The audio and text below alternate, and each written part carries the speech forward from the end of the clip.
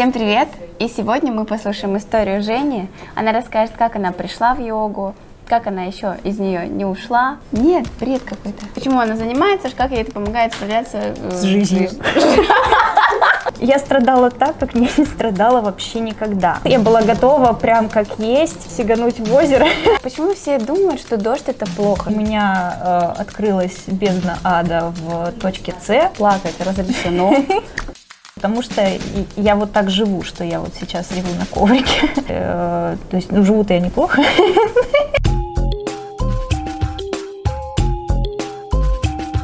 Всем привет! Меня зовут Катя, это Женя, и мы сегодня послушаем ее историю знакомства с методом.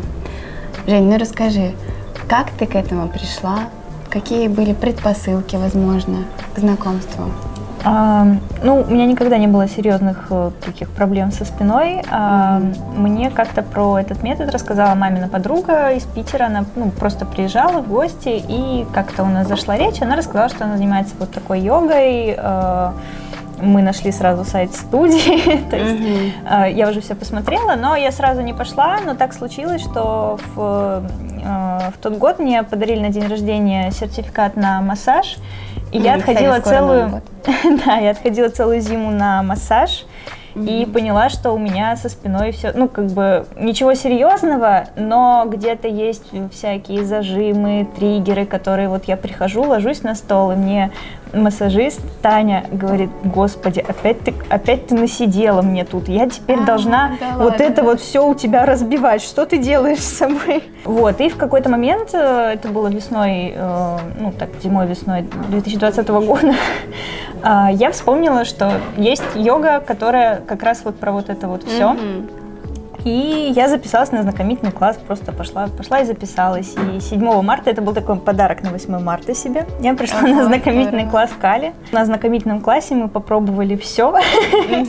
А, мне, конечно, было дико неприятно в какие-то моменты, потому что Валик до сих пор мы с ним так это самое. Вы все попсы попробовали? По-моему, да. Мне кажется, может быть, и мне, мне кажется, даже в хедстендер может быть, хотя да? не уверена. И что тогда тебя зацепило больше всего? А, вот. Может быть, не а. какое-то определенное оборудование? Может быть, на каком-то ощущении ты себя словила тогда? Было что-то такое? Мне было очень хорошо после того, как вот э, полежишь на пропсах, и после этого, вот ощущение после этого, когда ты действительно чувствуешь вот эту легкость, когда mm-hmm. ты встаешь и понимаешь, что, ну, спина действительно по-другому себя чувствует, вообще все тело себя по-другому чувствует. Я после каждого класса я выхожу, и я просто иду ну, совершенно в другом каком-то темпе, ритме, mm-hmm. чем, чем я иду на класс. Правильно я поняла, вот. что как таковой какой-то агрессивной, яркой э, боли у тебя не было, но тебе захотелось там, не знаю, просто вытянуться, иметь осанку. Ну, по крайней мере, я вот с таким, мне кажется, ощущением пришла на йогу, и в твоем рассказе я что-то уловила для себя схожее. Или что-то другое тебя привело? А, ну, и это тоже осанка. На самом деле, мне кажется, что вот я сколько занимаюсь, полтора года получается, я, конечно, стала прямее, э, потому что мне а, мне стало удобно, во-первых, вот так вот сидеть, потому что я поняла, как можно сидеть, не облокачиваясь ни на что. И, а, ну, например, в каких-то ситуациях, когда на спектакле, не знаю, сидишь, я часто бываю на спектаклях в театре, mm-hmm. и у нас иногда я сижу, у нас неудобные такие венские стулья, на которые облокачиваться, ну, больно конкретно, они жмут в лопатки, это, вот эта вот спинка такая полукруглая. Что значит венский стул? Вот. Ну, стул с такой деревянный стул, и у него спинка состоит из двух таких вот э, как бы согнут, гнутых таких mm-hmm. штук.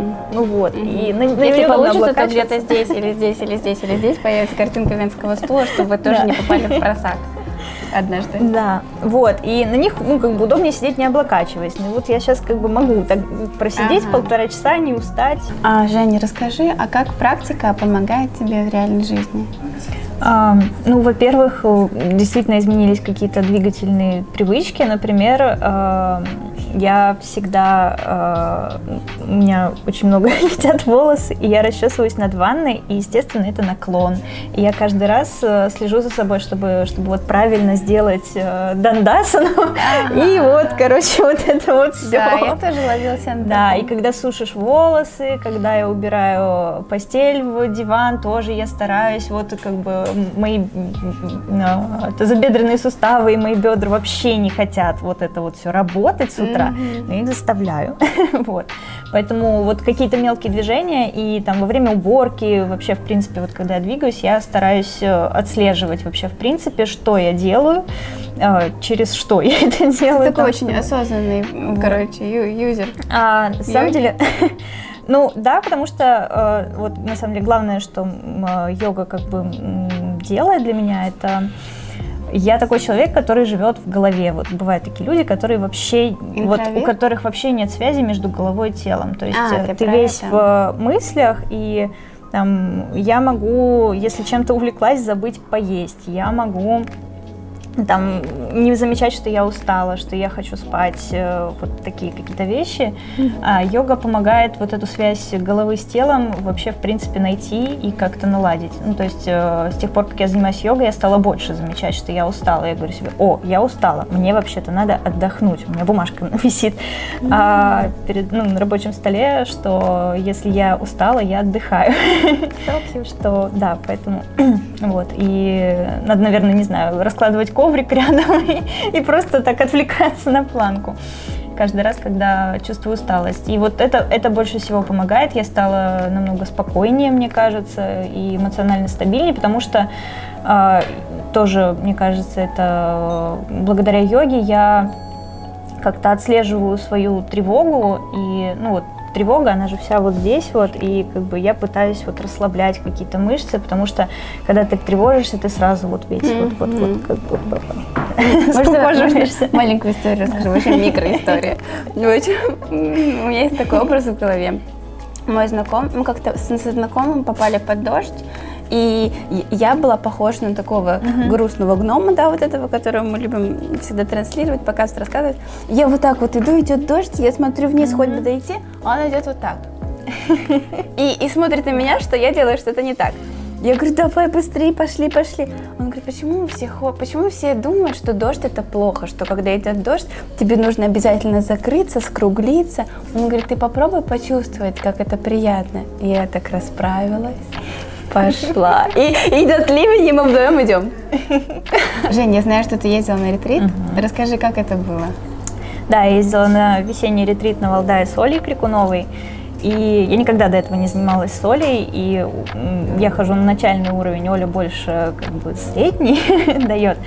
И там, конечно, я очень сильно прокачалась, в том числе морально, потому что э, сначала было очень тяжело. Я так как думала, что вот э, там в 8 утра у нас медитация. Я всегда э, у Али на классе я всегда сплю на планке. Mm-hmm. И в первый же день у нас была медитация на планке под Атлант. Mm-hmm. Я такая, о, сейчас вот 15 минут, у меня нет, как бы разбудите меня, когда класс закончится. Я страдала так, как не страдала вообще никогда. А на второй день я просто рыдала на коврике, когда мы лежали на тонком валике, тоже была медитация.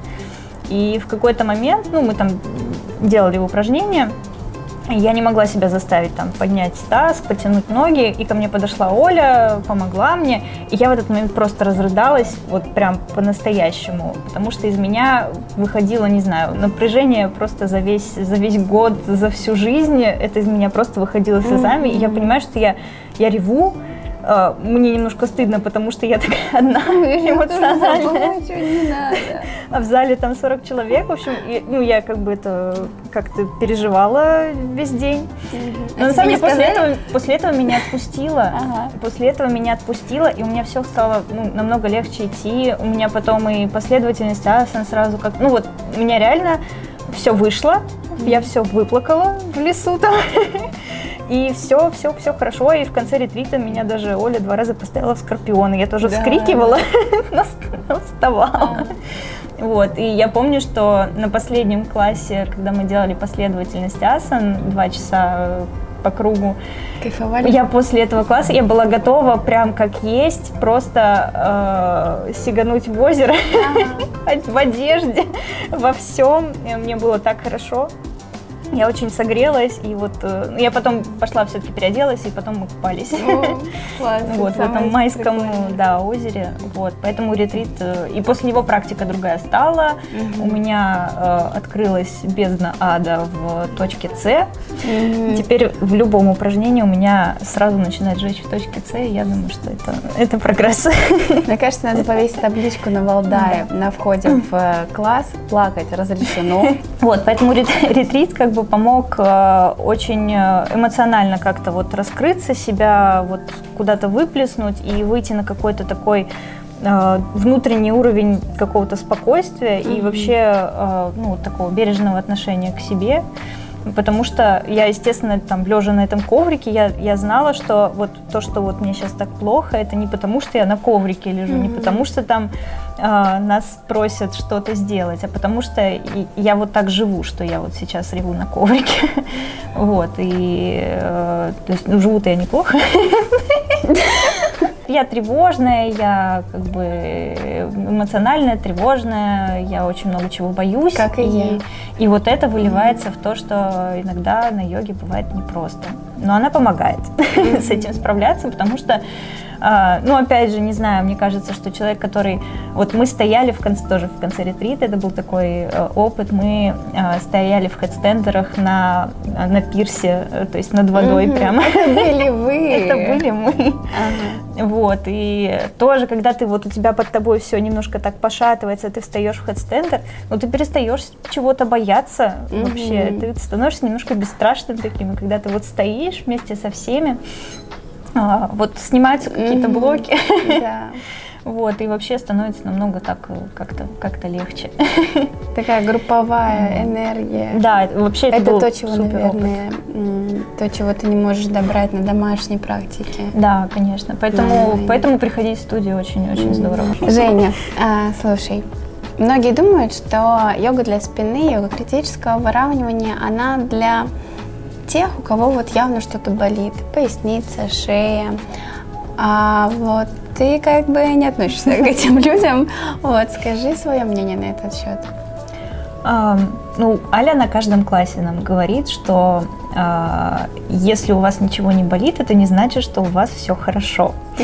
Возможно, ну то есть, если ничего не болит, все равно это нужно смотреть на свою жизнь. И э, если ты сидишь э, целый день за компьютером и там, не знаю, раз в неделю на выходных выходишь погулять, Мгм. скорее всего, ты напрягаешься, и это просто вылезет потом. То есть э, лучше заняться этим сейчас и учиться жить в своем теле сейчас, чем потом э, лечить спину уже там серьезно Ты делать такая операции. и так мудрая, я далее. вообще просто. Вот. Мгм. Поэтому, ну, как-то так. Мне кажется, что это наоборот для, для тех, кого, у кого еще не болит. Э, Ну, для тех, у кого болит тоже, но для тех, у кого еще не болит, и кто не хочет, чтобы болело в будущем. Потому что, когда смотришь там на бабушек, э, тоже вот хочется, чтобы 30 лет назад вот отмотать, чтобы у них даже была планка и backbender. Вот, чтобы им было лучше. Женя, спасибо большое, что поделилась своей историей со мной, с нашими зрителями. И будем ждать тебя в студии. Куда я денусь?